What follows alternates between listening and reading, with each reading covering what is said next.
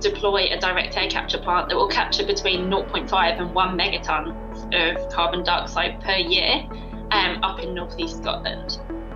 Um, when I say it's really exciting, what we've recently announced is pre feed, and that's the first stage of detailed engineering on this project. And it's a significant milestone in, in progressing the project.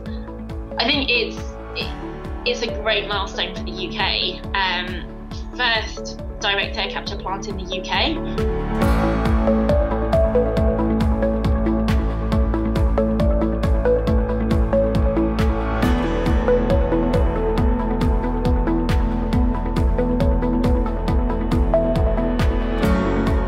It, it's going to be the, at the more expensive end of carbon capture.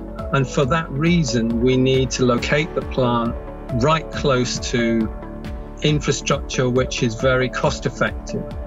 And the Acorn project up in Scotland offers that location because the pipelines are already there.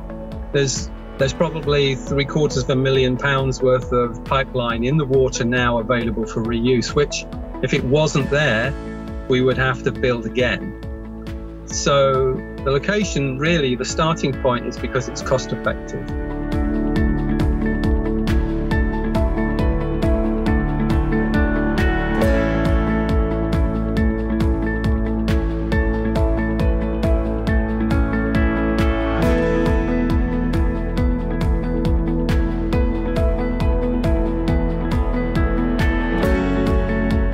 The encouraging thing is we're already speaking with potential customers who have an interest in in offsetting some of their emissions, and it the interest ranges from right across the spectrum of business, from airlines through to um, public services, um, and the uh, finance sector, engineering houses, a whole range of different applications.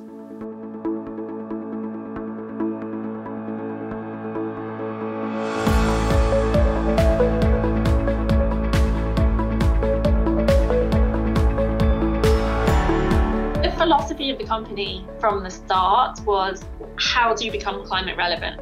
Climate relevant is gigaton scale, you know, billions of tons of carbon dioxide uh, captured from the air per year by 2050. So that is that is very much the aim. Um, be climate relevant. For us, looking at 2050, we we worked backwards to 2020, and we said, if you want to be a billion tons, then you really want to be deploying it megaton scale, million tons in the 2020s. Um, so that's the way that we're getting there. I think I would say that our business model has been to license our technology. Um, part of the reason for that is that we can't do that journey alone. Getting to hundreds, thousands of plants alone, it's just not possible. We need to work with partners that have those skill sets and have that experience to deploy. It. So that's sort of our way to get there.